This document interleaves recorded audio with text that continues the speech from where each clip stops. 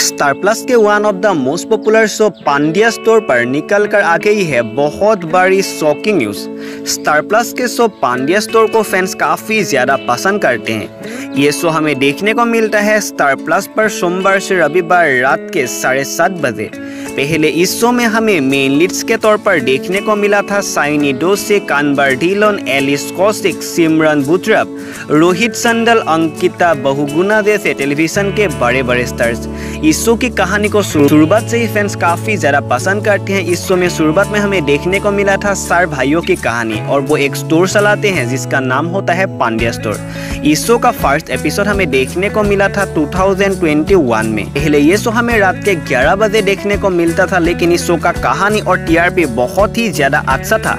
इसलिए इस शो का जो टाइम स्लॉट है, उसको चेंज करके 7:30 टाइम स्लॉट पर शिफ्ट कर दिया गया था।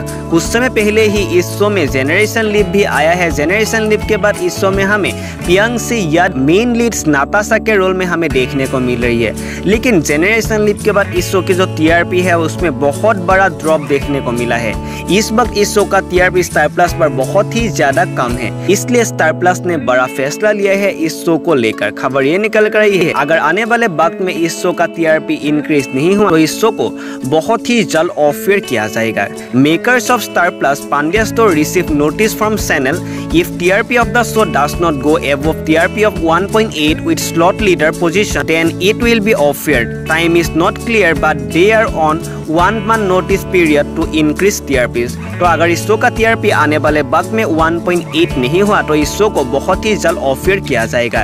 इस हफ़्ते इस शो का टीआरपी सिर्फ़ 1.5 ही निकल कर आई है। इस शो को रिप्लेस करने वाला है हिबा नवाब का बिल्कुल नया शो जन्नत। तो अगर इस शो का टीआरपी आने वाले वक्त में इंक्रीज नहीं हुआ तो जन्नत सीरियल इस शो को 7:30 के टाइम स्लॉट पर रिप्लेस करने वाला है। तो काफ़ी ज़्यादा शॉकिंग न्यूज़ है पांड्या स्टोर के फैंस के लिए। कि आप देखते हैं पांड्या स्टोर सोमवार से रविवार शाम के साढ़े सात बजे? कमेंट्स में बताना मत भूलिएगा। अगर वीडियो देखने में अच्छा लगा चैनल को ज़रूर सब्सक्राइब कीजिएगा। ऐसे ही नए अपडेट्स के लिए देखते रहिए एंटरटेनमेंट की बात, जहाँ पर हम देते हैं एंटरटेनमेंट से जुड़ी हुई हर छोटी बड़ी खबरें सबसे पहले।